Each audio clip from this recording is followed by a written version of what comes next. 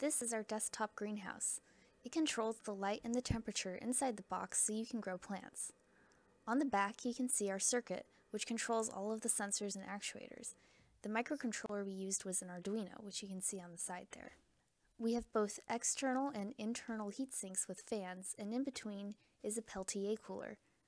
This is the light sensor, and this is the temperature sensor, they're both digital and they communicate with the Arduino through I2C protocol.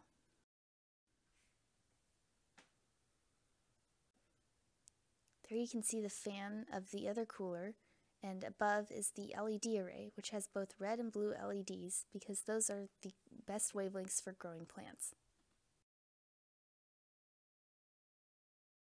This is the power source for the cooler and the fans and this is the power source for the LED array. As you can see, the LEDs um, use a lot of voltage, but they don't draw a lot of current. In the LEGO case is the Raspberry Pi, which serves a website that lets the user interact with the greenhouse. It communicates with the Arduino over the serial port.